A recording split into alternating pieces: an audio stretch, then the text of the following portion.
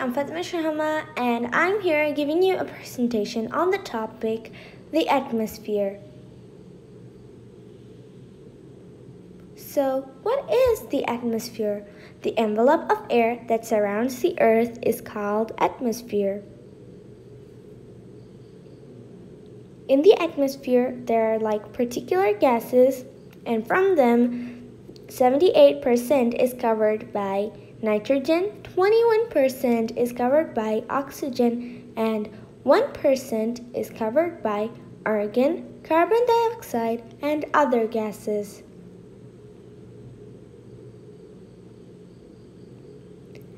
The atmosphere has like five layers. They are the troposphere, the stratosphere, the mesosphere, the thermosphere, and the exosphere. So each of those has a different role to play in the atmosphere. Let's go and see what they are.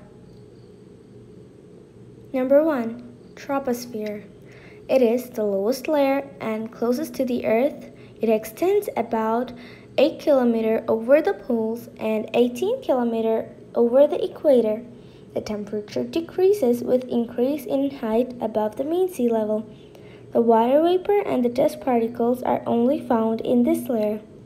This layer is the home of clouds, lightning, and weather phenomena, which means that we can only find the weather phenomenon in the troposphere. And the clouds, all of these are present only in the troposphere. Number two, the stratosphere. It is the second layer and it's present above the troposphere. It's 50 km high from the mean sea level. It's free from weather and the air moves horizontally. Thus, the jet planes fly in this layer. The temperature increases with increase in altitude. The lowest part of the layer contains the ozone layer which protects the earth from the sun's harmful UV rays. As we all know, the sun has harmful rays called UV rays and in the stratosphere there is a combination of ozone molecules which forms the ozone layer. That, that layer protects the earth from the harmful UV rays.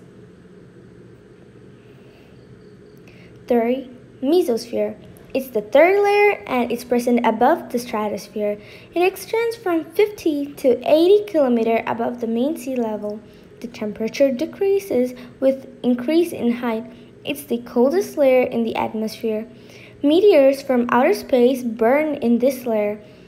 As we all see, the meteorites, actually, we are actually seeing them from the third layer, the mesosphere. They're really big, you know. Number four, the thermosphere. It's the fourth layer and it's present above the mesosphere. It extends from 80 to 400 kilometer above the mean sea level. The temperature increases with increase in height. The lower part of this layer contains ionosphere, which reflects low-frequency radio waves back to the Earth. This helps in long-distance communication. And as we all know, the northern lights or the aurora borealis is present in this layer.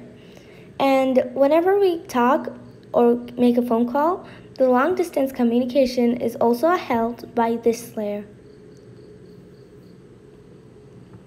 Number 5. The exosphere. It's the uppermost layer and it gradually merges into outer space. Light gases like helium and hydrogen are found here and the temperature increases with height. So the exosphere is mostly like the outer space. It's just the outer space. Thank you. Hope you have enjoyed my presentation.